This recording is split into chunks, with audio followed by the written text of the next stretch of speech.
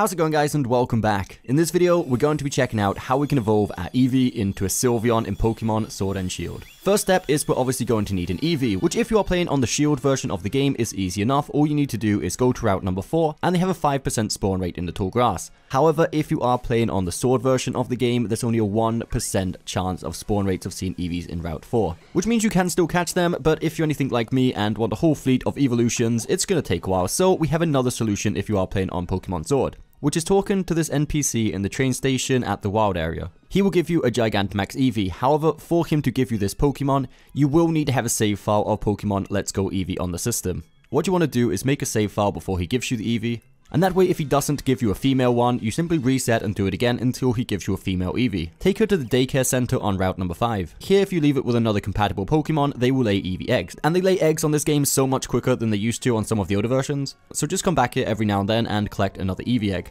Okay, so now we have an Eevee, let's check out how we can evolve it into Sylveon. It's actually pretty straightforward, so all we need to do is make sure that it has at least one fairy type move already learned, and a high affection rate. On this game, I don't think the affection rate has too much to do with it, as I didn't do anything special with this Eevee ever since it came out the egg, I just let it fight a few times and it automatically evolved into Sylveon. But the trick behind this is to get a Sylveon, you need to have at least one fairy type move already learned which if you're getting your Eevees out of an egg on level 1, is pretty much automatic, as Eevee on level 15 will learn Baby Dolled Eyes which is a fairy type move. Once a Eevee has any fairy type move, simply level up a few times until it evolves into Sylveon. If you did happen to catch your Eevee on a higher level than 15 and it doesn't have Baby-Doll Eyes, simply go back to the Poke Center and speak with the person on the left hand side counter and ask to remember moves.